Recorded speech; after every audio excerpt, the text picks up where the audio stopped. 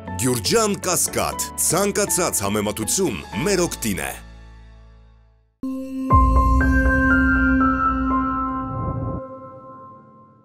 Պարոն Սարգսյան, նախ ինչ տարաձայնություններ կան շարժման ներսում Էդգար Ղազարյանի հետ նաև կապված։ Ուրեմն տարաձայնություն չի դա, երկու առաջարկ իրար հետ իրարամերժ են եղել եւ այդ առաջարկը մենք դրել ենք քվեարկության եւ իր առաջարկը չի անցել։ Ընդհանրապես իր առաջարկը? Հետեւյալն էր, որ մենք հենց հիմա պետք է ներկայացնենք վարչապետի տեխնացուին եւ ամբողջ կազմը ապագա կառավարության։ Մենք գտանք, որ դա սխալ մոտեցում է միայն այն պատճառով, որ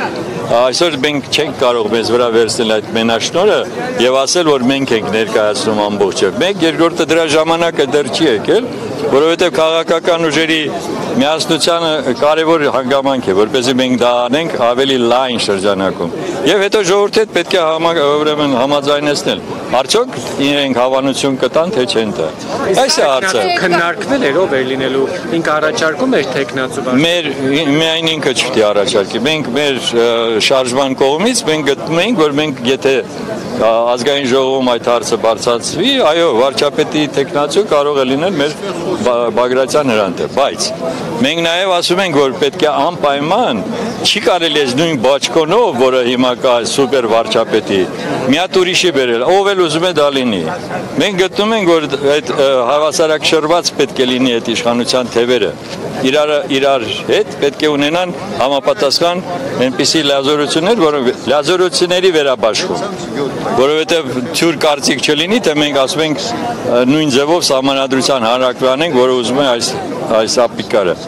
Մենք ընդհանրապես այդ դրա կողմնակիցն ենք եւ հիմա հանդես ենք գալիս։ Գուցե Էդգար Ղազարյանը հաշվի առել այն հանգամանքը, որ նախկինում էլ, հա, նախադեպեր եղան, երբ որ չկար վարչապետի տեխնացու շարժումներ ձևավորվեցին, գործողություններ արվեցին, բայց հանրությունը լիդերի էր սպասում եւ արդյունք չեղավ։ Ուրեմն եւս մեկ անգամ ուզում եմ ասեմ, մենք կգնանք այնպիսի քայլերին, որը որ միասնական կլինեն, ինչու, որովհետեւ այդ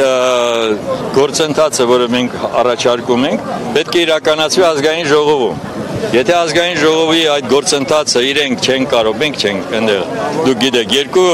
նիմադիր կան ուժեր, խմբակցություններ։ Եթե իրենք դա չեն կարող անել այսօր, մեր առաջարկը անիմաստ է։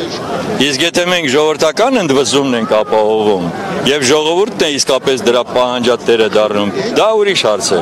Եվ հիմա նորից եմ կրկնում, եթե ելի նորից գնանք նույն ճանապարհով, որ մի անձին առաջադրենք եւ այդ անձը թող լինի բոլորի առաջնորդը, Մե ես համոզված ձեզ ասում եմ, դա շատ սխալ է, որովհետև մենք արդեն այդ տեսել ենք առաջի, երկրորդ, երրորդ, չորրորդ եւ այլ եւ այլն։ Մենք պետք է ունենանք այնպեսի իշխանություն, որը կարող է այս պահին,